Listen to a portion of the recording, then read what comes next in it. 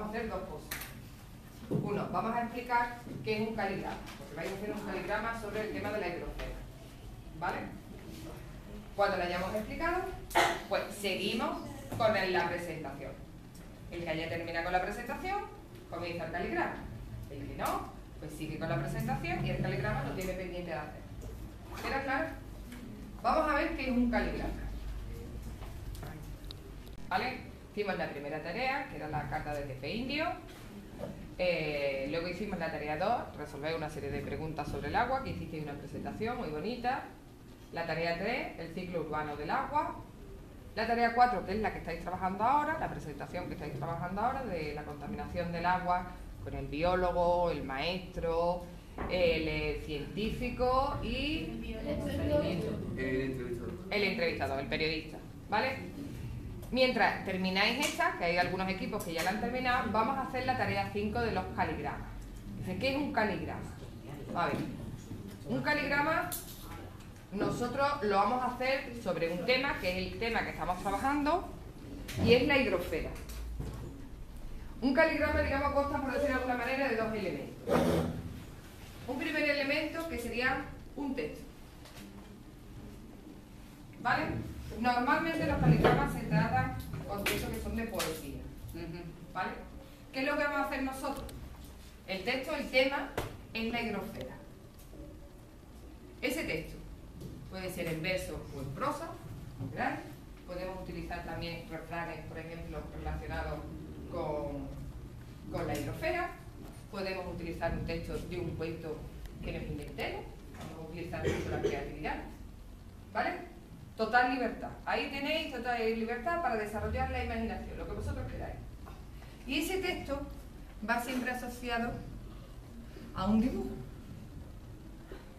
En un caligrama el dibujo puede ser cualquier cosa. Pero nosotros, como estamos trabajando el tema de la hidrosfera, pues que ese dibujo esté relacionado con el agua. ¿Y en qué consiste el caligrama? Pues que los trazos de ese dibujo va a ser sustituido por el texto. ¿Queda claro? Por ejemplo, imagínate que yo en el caso que estoy trabajando con la hidrosfera, os voy a dibujar una nube. Más o menos, ¿eh? Sabéis que el dibujo no es muy fuerte. Esos trazos los vamos a sustituir por un texto. Pero un texto, no un texto cualquiera, sino un texto, vamos a relacionarlo con la hidrosfera. ¿Vale? Bueno, ¿y qué pongo en ese texto? Imaginación. Puede ser un texto de un cuento que tú te inventes relacionado con el agua. Puede ser un texto de un refrán. Puede ser un texto en verso que tú te inventes. ¿Vale? ¿Queda claro? Entonces de lo que se trata es que a través de un dibujo, en este caso el tema es la hidrosfera, el agua, los trazos del dibujo son sustituidos por un texto. Normalmente suelen estar en rima, verso. Pero nosotros, como estamos en primerito, pues vamos a empezar con algo un poquito más, más fácil. ¿Vale? ¿Ha quedado claro lo que es un caligrama? Os voy a poner una pistola, puede simbolizar el tema que estoy trabajando, que es la guerra.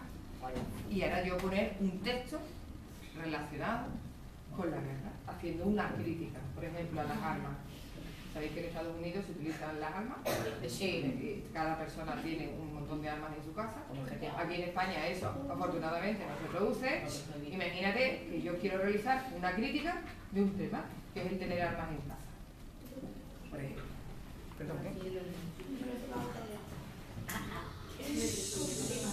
Imagínate, eh, por ejemplo, una excursión por, por el campo, ¿eh? este fin de semana, me voy al campo. Y digo, qué belleza tan espectacular tenemos en nuestros campos, ¿vale? Y veo una mariposa. Pues yo dibujo una mariposa, pero si os dais cuenta, los trazos de las mariposas es un texto. Un texto que puede ser un cuento, puede ser un mensaje, que puede ser una idea que yo quiero transmitir, que puede ser inventada, ¿de acuerdo? Normalmente, insisto, esto se suele hacer con, con versos, ¿vale? Pero nosotros vamos a hacer en. Dime, Inés.